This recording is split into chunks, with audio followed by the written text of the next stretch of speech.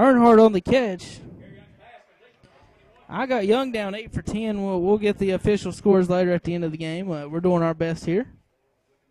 Two man booth. We usually have three guys uh, due to some technical difficulties and space related other problems.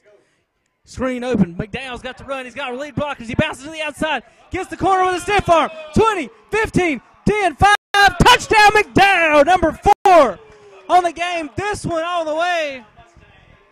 40, 40 something yards. We'll see they get the official score in a second. 38 yards. 39 yard touchdown by McDowell. McDowell's been deadly from outside the 20. Three touchdowns outside 20. Four touchdowns outside 20 yards tonight.